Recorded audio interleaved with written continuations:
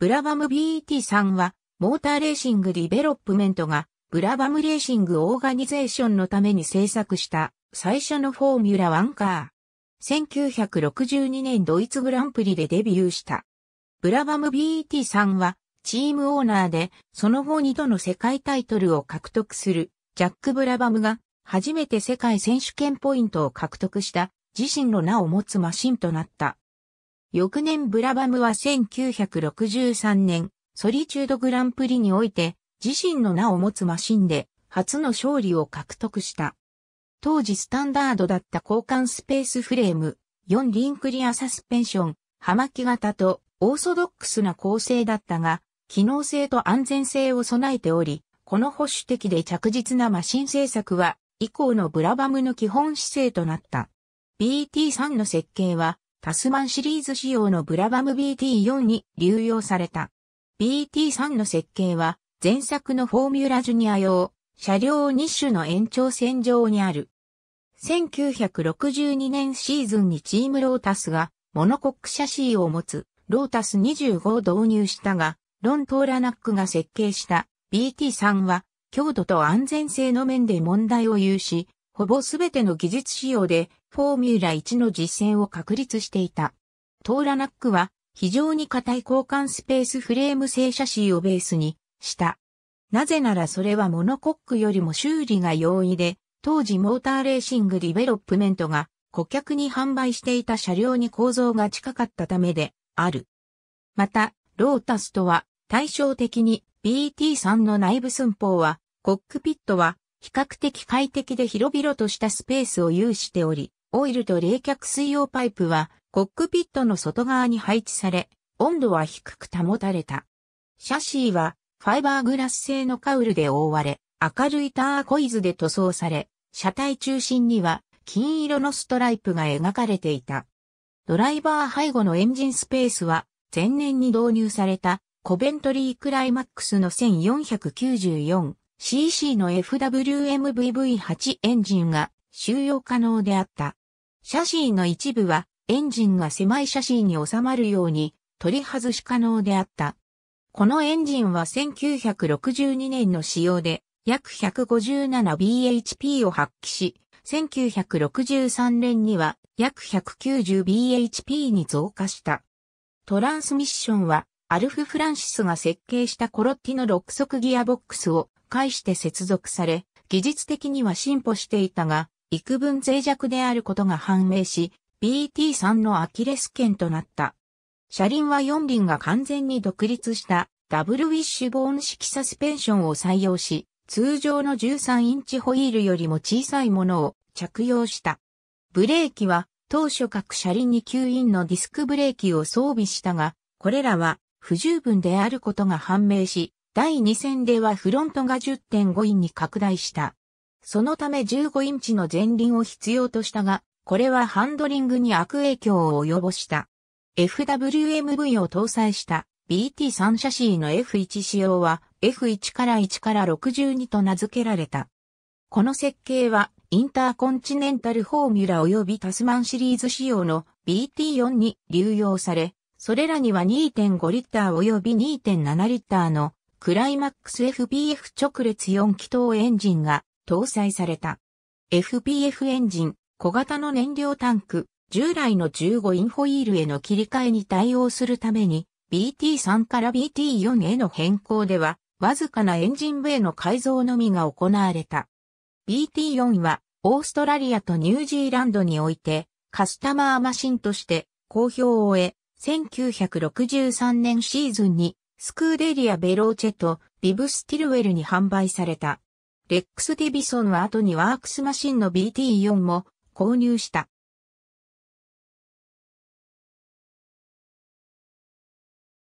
BT3 は後継マシンのブラバム BT7 開発のためのプロトタイプとして使用され、1963年シーズン前に行われた変更は、シャジーの引き下げ、55ポンドの軽量化、図色の変更が含まれた。1963年シーズンが終了すると、BT3 はブライトンに拠点を置くプライベーターのイアン・レビーに売却され、クライマックス製エンジンに変えて BRM の V8 エンジンが搭載された。レイビーは1965年に BT3 をデビッド・ヘップワースに売却し、エンジンは 4.7L のシボレー V8 エンジンが搭載された。この BT3 はフォーミュラリブレで使用され、1966年に行われたいくつかのヒルクライムイベントにも参加した。この BT3 は後にオリジナルの1962年の F1 仕様に復元され、ターコイズとゴールドの塗色も復元、長い間ドニントングランプリエキシビジョンミュージアムのコレクションに収められていた。BT3 の導入まで、ブラバムチームは1962年シーズンの序盤に、ロータス24を使用した。ブラバムとトーラナックは1962年、イギリスグランプリのために BT3 を準備することを望んでいたが、レース前の午前3時に間違った廃棄システムが供給されていたことが判明した。BT3 は1週間後に完成し、グッドウッドサーキットとブランズハッチで簡単なシェイクダウンテストが行われた。その後デビュー戦となる1962年、ドイツグランプリのためニュルブルクリンクに送り出された。しかし、BT3 のデビュー戦は失敗に終わった。プラクティスでエンジントラブルが生じ、2000級のスペアエンジンを搭載した BT3 は予選24番手となった。クライマックスのファクトリーから正しく組み上げられたスペアエンジンが届き、夜を徹して2度目のエンジン交換が行われた。決勝で BT3 は序盤数周を会長に走行した。徹夜の特艦作業で応急のスロットルリンケージが組み込まれていたため、9周目にブラバムはスロットル操作にトラブルが生じた。適切なパワーコントロールができなくなったブラバムはリタイアに終わった。ブラバムは3週間後のノンタイトル戦、デンマークグランプリでは再びロータスをドライブし、その数日後に行われたオールトンパークインターナショナルゴールドカップでは BT3 をドライブした。5番グリッドからスタートしたブラバムはブレーキパッドを素早く交換しなければならなかったにもかかわらず最終フラッグまでに3位に浮上した。これは自身の名を冠したマシンでの初の表彰台であった。その後、同月後半にモンザサーキットで開催された高速レースのイタリアグランプリをレースのプロモーターとの意見相違によって欠場し、終盤の2戦、1962年、アメリカグランプリと1962年、南アフリカグランプリでは、連続して4位に入り、BT3 にとって初のポイント獲得と自身の名を冠したマシンでの初のポイントを獲得した。この2つのイベントの間に、ブラバムは初のメキシコグランプリで2位に入り、優勝したジム・クラークとトレバー・テイラーのロータス25と唯一同一周回でフィニッシュした。ブラバムチームは自身のマシンがエンジントラブルを生じた後、チームロータスから借りたロータス25と自身がデザインしたマシンで1963年シーズンをスタートした。チームは2台体制に拡大し、もう1台をアメリカ人ドライバーのダンガーニーにドライブさせた。チームは BT3 に変えて新車の BT7 を投入したが、ブラバム自身はベルギーとイタリアで BT7 が使用できなかったため BT3 を使用している。ブラバムはまたノンタイトル戦でも BT3 を使用し、1963年、ソリチュードグランプリと1963年、オーストリアグランプリで優勝している。ソリチュードでの勝利は、自身の名を冠したマシンでの初めての勝利であった。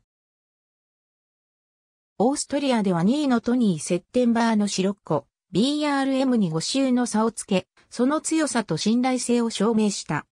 この2つのレースの間に、ブラバムは BT3 を若手のメカニックとフォーミュラジュニアのドライバー、後の F1 チャンピオンとなるデニス・ハルムに貸し出した。ハルムはスウェーデンで開催された1963年のカノロンペットで4位となっている。イアン・レイビーは1964年と1965年の何戦かに BRM 製エンジンを搭載した BT3 で出場したが、ポイントを獲得することはなかった。レービーは1965年イタリアグランプリにエントリーしたが、その前の1965年ドイツグランプリで予選落ちした後に BT3 をデビッド・ヘップワースに売却した。ヘップワースはエンジンを死母冷製 V8 に換装し、1966年のヒルクライムイベントで使用した。ありがとうございます。